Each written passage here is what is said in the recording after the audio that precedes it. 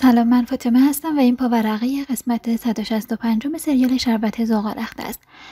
شعله برای ماندن به خانه عبدالله نرفته فقط می‌خواهد پنبه را بترساند و چمدان خالیش درستی موضوع را نشان داد. اما برای تنبیه پنبه تصمیم می‌گیرد برای مدتی در آن خانه بماند. پنبه می‌گوید حالا که اومدی بهتره یه مدت بمونی تا رفتار عبدالله ببینی و از نزدیک با ما آشنا بشی. عبدالله که می‌بیند هوا پس است به خانه عامر می‌رود تا لاغر کمی آرامش داشته باشد و آن دو زن لجباز را با هم تنها می‌گذارد تا هر طور دوست دارند از خجالت هم در بیگند شعله به اتاق مهمان رفته و به آزرخ زنگ می‌زند و می‌گوید پنبه محل کارش را به هم ریخته و هم برای تلافی می‌خواهد چند روزی را با خانواده عبدالله همخانه شود. آزرخش با وجود ناراحتی از کار نسنجیده خواهرش این موضوع را از سمت پنهان می‌کند. نورسما وقتی خبردار می شود شعله در خانه پدرش مسکن کرده عصبی می شود و امید می‌گوید درست به خاطر همین می‌خواهم از همه دور بشیم پی از زندگی آرومی را با هم سپری کنیم. نورسما فردا صبح به خانه پدرش می رود و مادرش را سرزنش می کند که چرا به شعله اجازه ماندن داده. پنبه با وجود ناراحتی می‌گوید مطمئن است این موضوع به نفش تمام خواهد شد و رفتن عبدالله از خانه هم نشانه خوبی است. شعله به پنبه می‌گوید قصد دارد صبحانه را بیرون از خانه کنار عبدالله سر کند و کمی با او حرف بزند.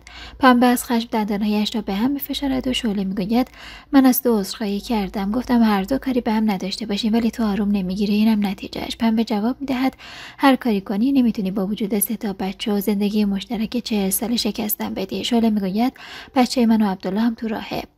پنبه از زولکر و نیلای می‌خواهد آن خانه را برای شعله به جهنم تبدیل کند. زولکر هنگام کندن علف های ارز باخشه به شعله می‌گوید تو را هم مثل این علف ها باید کند و دور انداخت. شعله جواب می‌دهد بهتر بود به جای باغبون راهزن می‌شدی.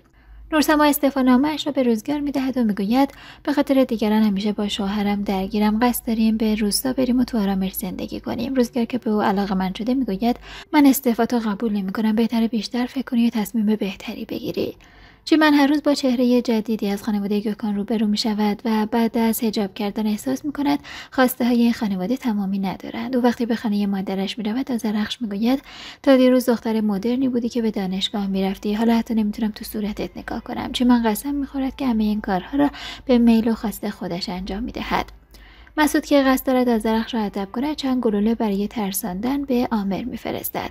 او هم چند نفر را اجیر می‌کند و مسعود را میدزدد و به جنگل می‌برد و به او هشدار می‌دهد که دست دست را از درخت بردارد و می‌گوید دفعه بعد با خشونت بیشتری مواجه خواهد شد. شعله به عبدالله می‌گوید باید پرونده طلاق را دوباره به جریان بیاندازد و خانه جدیدی بگیرند و کنار هم فرزندشان را بزرگ کنند. عبدالله که از شنیدن این حرف خوشحال شده دست شعله را میفشارد. ممنون از اینکه با من همراه بودید. خدا نگهدار.